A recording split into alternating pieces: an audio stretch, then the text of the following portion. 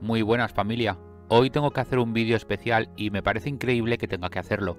Me cuesta entender que en pleno siglo XXI tengamos que hablar de amenazas nucleares y que además hablemos ya no solo de una guerra, sino de estrategias contra los civiles. Todos sabíamos lo que iba a pasar, pero hace cerca de dos semanas Putin lanzó una ofensiva militar a la vieja usanza. Esta guerra es vergonzosa, y digo vergonzosa porque están atacando a civiles. Por ello, la Unión Europea y la OTAN desplegaron todas las represalias económicas contra Rusia y su dirigente. Y Vladimir contraatacó con la sombra de la amenaza nuclear. No solo amenazó varias veces con ella, sino que desplegó a sus submarinos nucleares. Pero, ¿qué tipo de submarinos sacó al océano y qué ojivas llevan? Según un comunicado de la Flota del Norte encargada de defender dicha zona de Rusia, las órdenes serían las de poner en marcha maniobras militares para simulacros en las peores condiciones. Para ello, Vladimir Putin habría ordenado movilizar dos tipos de submarinos, en concreto los de la clase 4 y la clase Borei.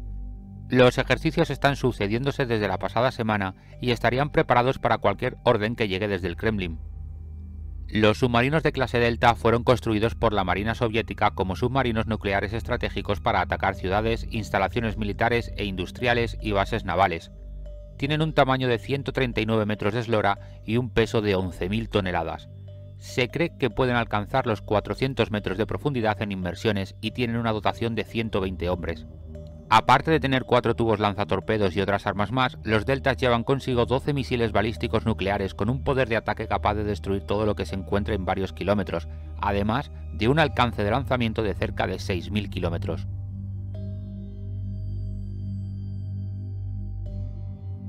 Por otro lado, los Borei, que están destinados a suceder a los Delta, son submarinos que tienen una eslora de 170 metros y pesan 24.000 toneladas, Además, cuentan con una tripulación de cerca de 130 hombres.